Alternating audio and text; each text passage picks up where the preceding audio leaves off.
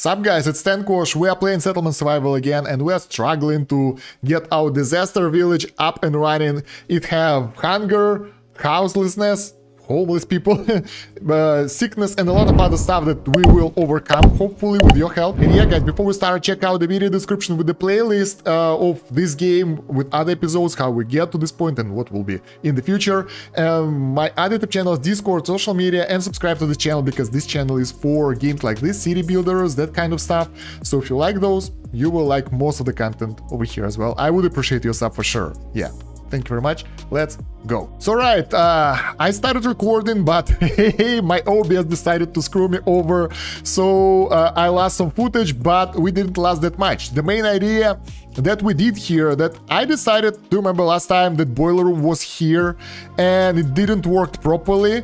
So I needed to expand my town because we got a lot of people who want new houses and we couldn't do that because marketplace clinic, chapel were in all different places and they were covering only this area over here and we couldn't expand. So what I did, I moved the boiler room from here, which as you can see was covering not that much of an area, over here. So now it covers a lot more area so we can make more housing here. I moved the marketplace over here. So uh, where is it? Bam. Marketplace right here. So now it covers all the area that we have and more. So with the help of this, we can expand our city quite a bit, get more population, so that will mean more production. Moreover, we finished one season of harvesting, so now we are at 6000 food, which is really, really crazy good. And also, we are lacking well, we're kind of okay, nothing bad is happening right now, so we are balanced. Uh, I decided to make few more warehouse warehouses because honestly, we are lacking storage right now, and I destroyed this storage space over here and put boiler room instead and created another warehouse somewhere here.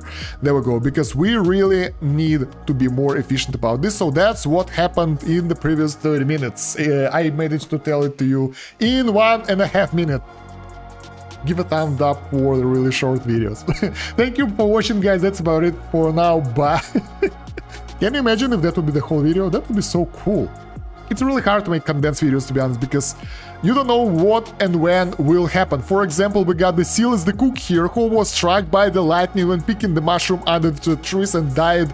Poor fella got killed by the lightning, that's horrible, but it's okay. Uh, okay, we can get rid of our farmers now and send them on their own workplaces. That means mines for sure. More mines and maybe... Can we send them working in the Foresters are that's really good. I need more wood right now because we are getting the really good wood production going. So yeah, they, they can just wander around and bring things somewhere. Moreover, I assigned like a lot of builders here so we can build the new districts way faster. And I think I want to prioritize the market here. So we managed to do it in one year. I was wondering if we can move the boiler room before the autumn and look at that, we actually created a lot of houses and everything is good and everyone will have the houses for them. That's that's very cool. And we got the new administrator. Nice, that's legit. So, we have two options. Uh, Benson, who will make duration of tools, clothes and backpacks plus 20, which is... That's really fantastic. Or Barrett, that will allow us to get the tobacco seeds.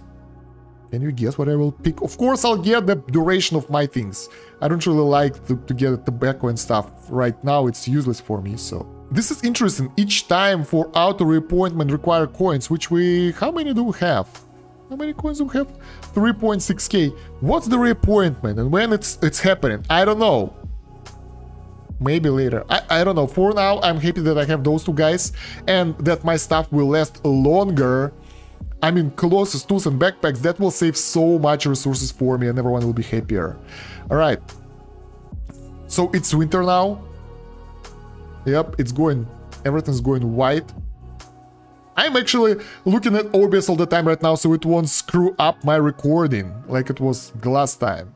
Because it's like, encoding overloaded, you can't do anything because I'm doing it on the laptop and I decided to like, it doesn't take much of my GPU, like 70% on the silent mode, let's go with the silent mode. But OBS decided like, no, silent mode isn't for you, screw you, you will be doing this differently and i'm like okay.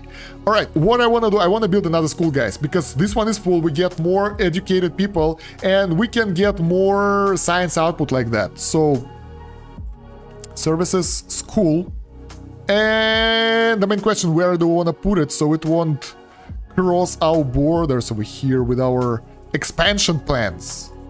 So the market will get us as far as this area and boiler room as far as this area. So the best place for the school is next to the trading docks, which is a production area for us. I don't think it's a good... Let's place it right here for those guys.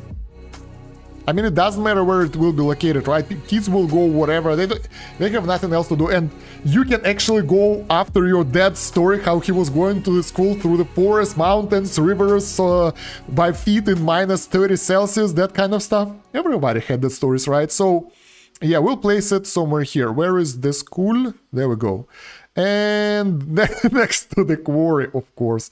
No, okay, we'll place it next to the, all those places are horrible. Why it should be next to the cemetery or some, let's just place it here. We can move it later, okay? We can move it later. I don't want my kids to go eh, to the school which is like next to the cemetery. That's horrible. And that will also give us more production uh, technology points. So we can do more research after that. Oh, we got one, by the way. So what do we need? Uh, we can make a herbalist hut, but we can't because I think we need clothes and linen, like some sort of clothes, in order to produce medical supplies. So we can get that. So first of all, we need to get that uh, weaving thing here. That requires cotton, but we have other stuff. We got the planks, we can get the texture, te textile mill, and we can get the actual cloth right now. So let's activate this one and we are finally getting some progress right here. I'm really surprised how everything is going for me, that I'm not failing that miserably. Uh, new tech point acquired, thank you. One citizen wants new home, thank you very much, you will get it soon. And now, since we got two marketplaces, we can get rid of this one and make some housing there or something else, who knows. So, yeah, look at that, all those areas are covered so we can get several rows of houses over here, that's so cool. And we will need those because we got immigrants coming up soon. So we'll have to settle them somewhere. Do we have enough wood? Oh, we do. Not like we have enough wood, but we are in a pretty good place wood-wise. Let's put it like this. Uh, that's a lot, a lot, a lot of houses. That's like future-proof in our village. Look at this, it's so huge. It doesn't look like cool, Yes, I know, but it's efficient. Efficiency is the key for someone who don't want to die early on. Me. So yeah. Since this is now our main district, I think we can afford making the stone, uh, cut stone road. Did we actually got those to the cut stone road? Yeah, this is the cut stone road. This is so cool. So yeah, we can make the cutstone road from here, uh, let's say to, to, to this point, so people will move faster here. And we might want to move the cutstone road down there as well, because we will be moving a, a lot, a lot down that way. So I want my guys to be efficient at moving. Something like this, something like this, and something like this. So that will allow us some, some faster movement speed straight away. Watermill. texture mill or texture watermill. Greater efficiency, I love that. We got the water, we got the texture, so let's go. Uh, it doesn't fit, guys. We can get rid of this crappy fishing dock, which doesn't do a thing for us. It doesn't... Yeah, it's horrible. And... Oh, that's good. I was worried... I want to move this water mill to the left a bit instead of this place so we can utilize more of the water space here. And I was like, I hope I didn't upgraded it with the gear. I didn't. I should have, but I didn't. So let's move this one away, demolish and move this one away as well. I hope we got enough planks right now. And we can move this water mill over there and maybe place another one right here. So alpaca was found by a hunter. Nice, but we have those already. Let's prioritize destroying those buildings. And if we want fish, I mean, we can get some over here. What's this? What's this? That's a drift box, guys! Equivalent old box made of seemingly quality materials has drifted over here in the river. No one knows what's in the box, a contain opportunity or danger. what do we do? We can either salvage it, but we need fishing net, which we don't have, or leave and pretend nothing happened. Sadly, that's what we will do. I need to get some fishing net for the future. so right, uh, I want fish in order to have the variety of food for my people. That's the main reason. And in order to do that, we need... Oh my god, we are lacking wood right now because, well, that that, product, that that amount of construction we're getting over here is insane, to be honest. I didn't expect it to be happening anytime soon. So fishing is required to get the different types of food, but I don't think people will be really that unhappy because it depends on the quality of the food and we can't really do anything with the fish until we salt it. So screw that, we will use it uh, later on and we will free some two of our workers. We don't have issues with the food as well right now, so we're good. Look at that, they just left it lying over there. New livestock acquired. Who? We got the goose! There we go, so we can get the feathers now. I don't know why we need that, why I'm so happy, but I mean... That's so cool.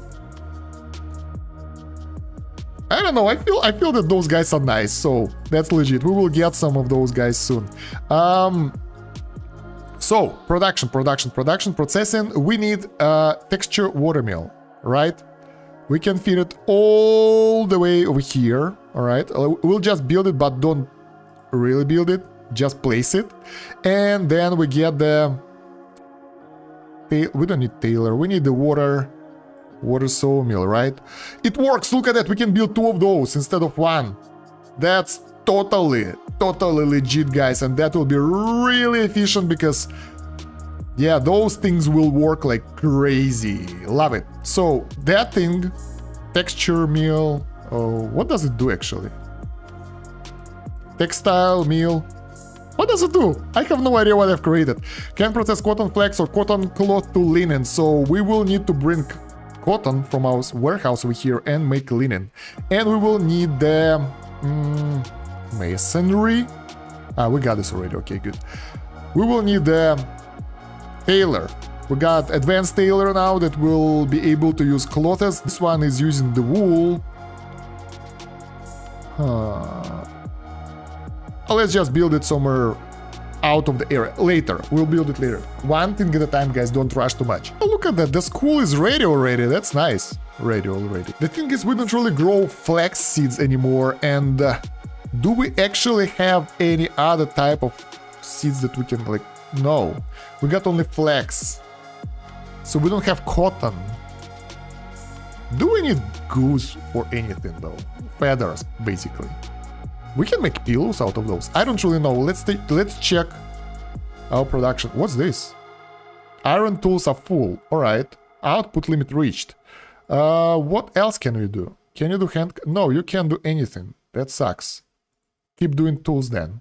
Um, what else can you do? Backpack? Not really. Rough clothes from leather, wool, alpaca wool, linen, or cotton cloth. So we can do out of any of those and now since we like alpaca wool we can create linen clothing as well that's i think it's pretty cool the good thing that like those knitting workshops can produce uh, other stuff like shoes, like ropes and that kind of stuff. So we might need to create another knitting workshop right now in order to produce more stuff, I think, because like this one isn't enough.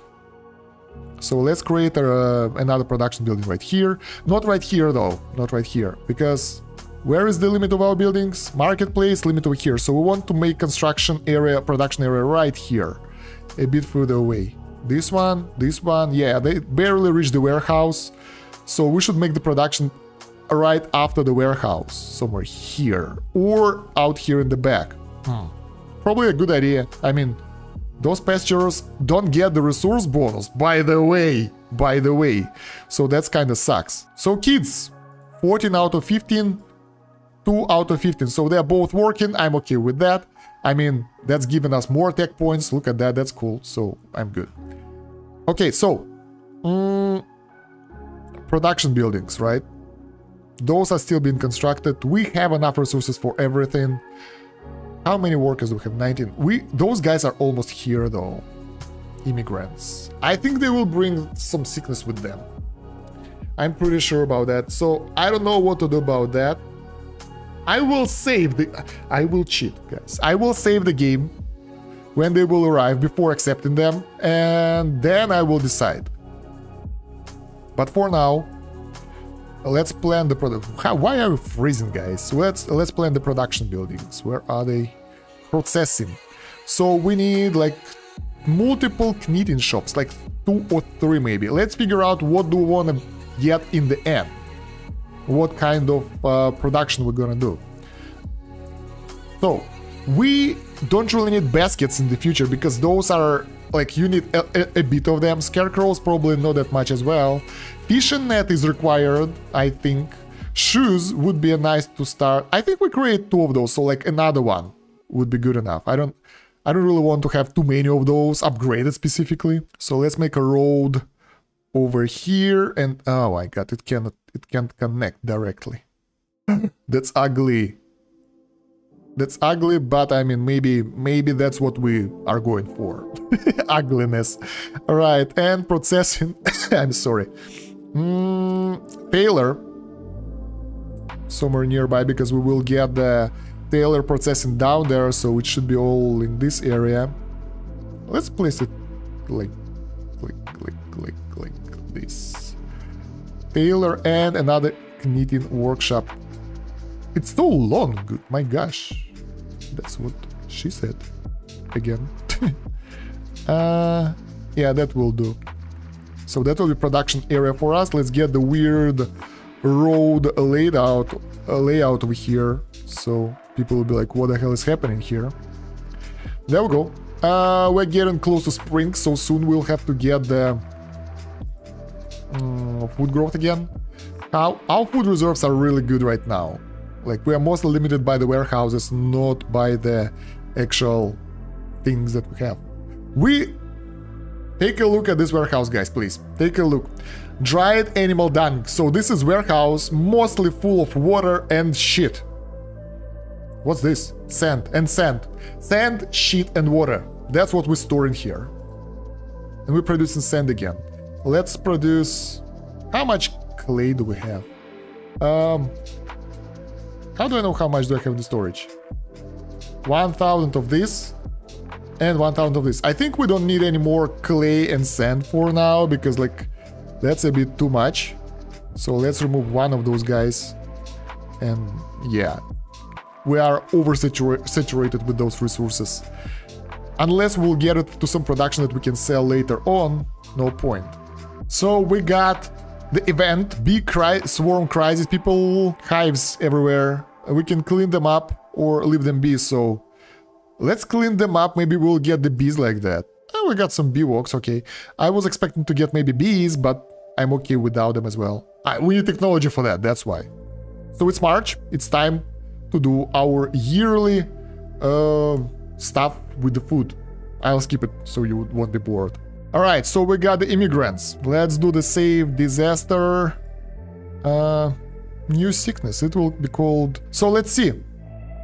14 immigrants, that's so cool. We got 40 more people. This is like uh, about 10%. Oh, no, we got way more. We got 160. Well, that's 10% of our population. Let's go accept.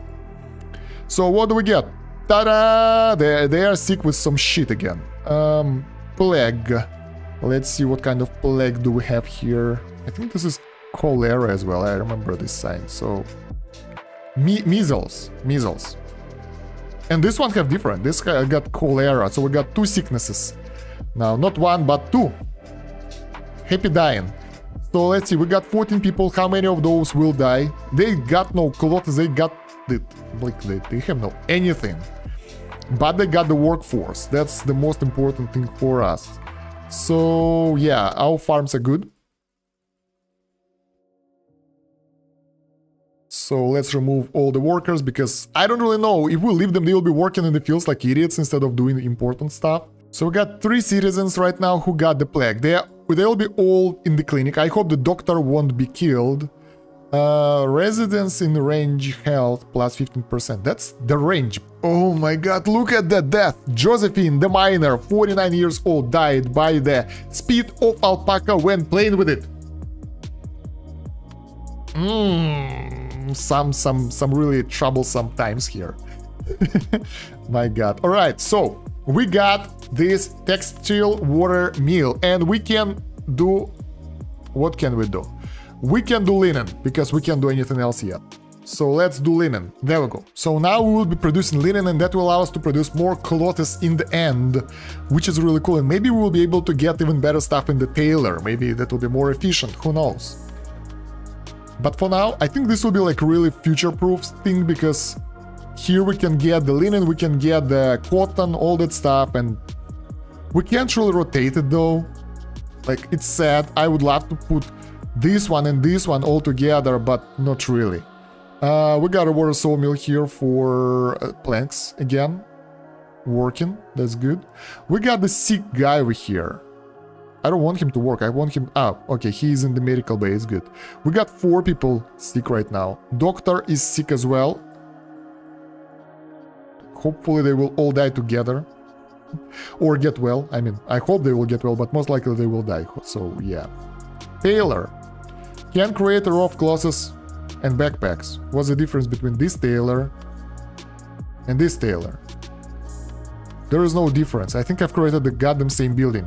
Yeah, I'm an idiot, so I have to destroy this building straight away. That's how you create the proper villages, guys. We create the wrong buildings in the wrong places. Uh, they look kinda... No, no, they don't... They look the same. But this is just a... Oh my god.